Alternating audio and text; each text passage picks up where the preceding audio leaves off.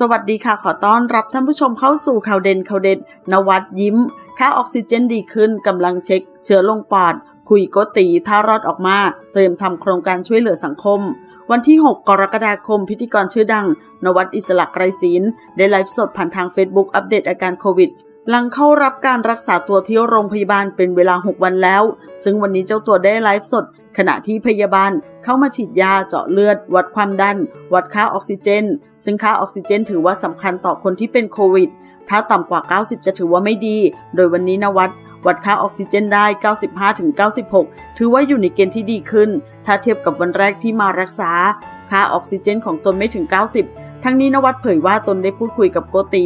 ถ้ารอดออกมาจะร่วมกันทำโครงการช่วยเหลือสังคม พร้อมทั้งขอให้กำลังใจเจ้าหน้าที่ และคนที่ได้รับผลกระทบ จากเหตุระเบิดที่กิ่งแก้ว ฝากรัฐบาลเข้าไปดูหน่อย ก่อนจบไลฟ์นวัดเผยว่าคุณหมอกำลังจะเข้ามาเอ็กซเรย์ปอด หากผลออกมาแล้วจะมาอัปเดตอีกที ขอขอบคุณข้อมูลจากข่าวสดขอบคุณค่ะ